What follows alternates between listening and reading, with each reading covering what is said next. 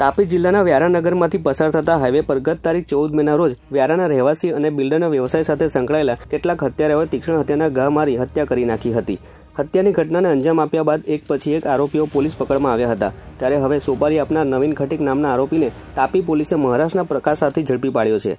તાપી પોલીસે આ પ્રકરણમાં અત્યાર સુધીમાં નવીન ખટીક સહિત કુલ સાત આરોપીઓને ઝડપી પાડ્યા છે. હાલ તો તાપી પોલીસે બિલ્ડરની હત્યા કયા કારણોસર કરવામાં આવી હતી તે મામલે વધુ તપાસ કરી રહી છે. જોકે બહુ ચર્ચિત હત્યાના બનાવમાં મોટા માથાના નામો પણ ખોલવાની શક્યતાઓ સેવાઈ રહી છે. ચૌદ પાંચ બે હજાર એકવીસના રોજ ઉનાઈ નાકા પાસે, હનુમાનજીના મંદિર પાસે વ્યારાના રહીશ બિલ્ડર નિશિષભાઈ શાહ ઉપર ચાર હત્યારાઓએ જીવલોણ હુમલો કરી તેમની હત્યા કરવામાં આવેલી.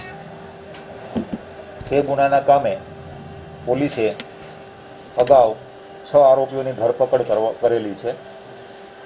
અને આ ગુનાના કામે પોલીસ પકડથી દૂર રહેતા અને ભાગતા ફરતા આરોપી નવીન ફટીકને પકડવા માટે પોલીસે અલગ અલગ ટીમો,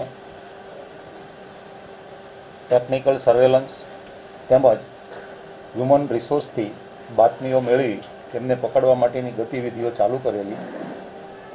તે પૈકી ગઈકાલે પોલીસને એવી ચોક્કસ હકીકત મળેલી કે આ ગુનાના કામે ભાગતા ફરતા આરોપી નવીન ખટીક તેમના પત્નીને મુંબઈ ખાતે મળવા માટે જનાર છે અને યુપીથી પરત આવી મહારાષ્ટ્રના પ્રકાશા પાસેથી પસાર થઈ શકે તેવી શક્યતા અને ચોક્કસ બાતમી હોય, પ્રકાશા ત્રણ રસ્તા પાસે પોલીસે વોચ ગોઠવી અને બાતમી આધારે આરોપી નવીન ખટીક ત્યાંથી મળી આવતા તેમને આ ગુનાના કામે ધરપકડ કરવામાં આવેલ છે. આમ, આ ગુનામાં અત્યાર સુધી કુલ સાત આરોપીઓની ધરપકડ કરવામાં આવેલી છે અને આગળની તપાસ તજવીજ police inspector Shri R S Patel નાઓ કરી રહેલ છે. નવીન ખટીકની જે અગાઉ જે પકડાયેલા આરોપીઓ જે છે, એમણે એવી હકીકત જાહેર કરેલી કે નવીન ખટીકને મિસિસ શાહ સાથે અગાઉ કોઈ બનાવ બાબતે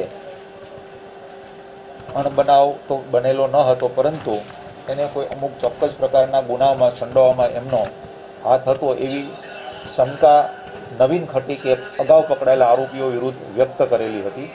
પરંતુ ખરેખર સાચી હકીકત અગાઉ પકડાયેલા આરોપીઓ જે જણાવ્યું હતું એ જ છે કે બીજી છે તેના માટે તપાસ ચાલુ છે. એ હજુ સુધી સામે આવેલ નથી, પરંતુ આ બાબતે ઊંડાણપૂર્વક તપાસ કરવામાં આવી રહેલ છે.